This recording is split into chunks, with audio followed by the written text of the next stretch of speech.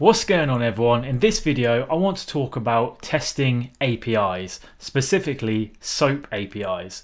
Now, SOAP APIs aren't as common, at least in my experience, as REST APIs or GraphQL APIs, and I've really only seen them when I work with really big clients or I'm testing kind of compiled programs like a Windows application, like that might be the back-end communications. But you might come across a scenario where you're doing a bug bounty or you're working with a client where you have to do a SOAP API test. So this video really isn't about uh, the vulnerabilities within uh, SOAP APIs because that's kind of common to any API. This is about setting up your environment environment to actually test the API.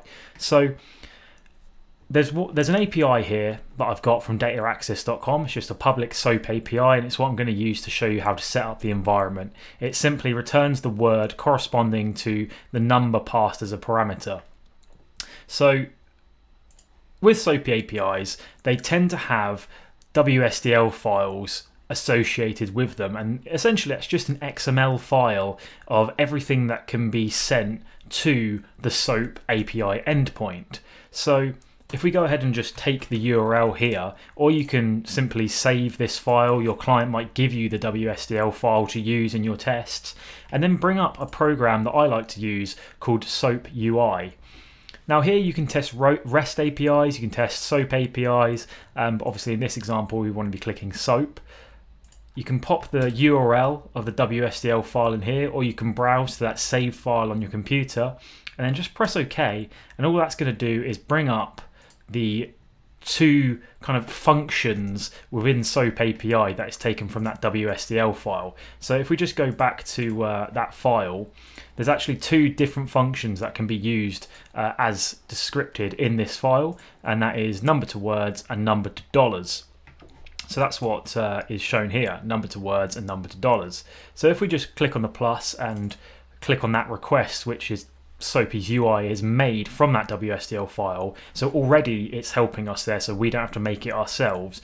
You can see that the XML is is there, and all we have to do is change this parameter to whatever we want really. So if I put 11 in there because it's uh, numbers to dollars, and then send that off, that returns $11 because I put 11 in there. So that's how this API works uh, as described in that WSDL file. So to test this kind of thing, you could just, you know, try SQL injections by putting in, you know, a quote mark there and seeing if any SQL errors come up or an XSS payload to see if the content type changes and you get an XSS or, you know, really this video isn't about vulnerabilities in APIs. As I say, they're common to most APIs.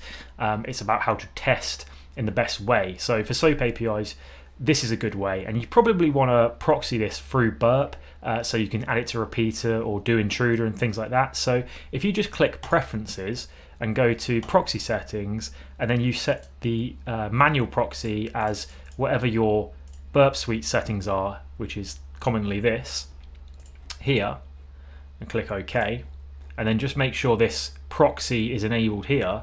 Every time you click this uh, play button, that will go through burp. So if I go ahead and just intercept now, click the play button, you'll see that that request here, so that quote mark is exactly the same as that quote mark there.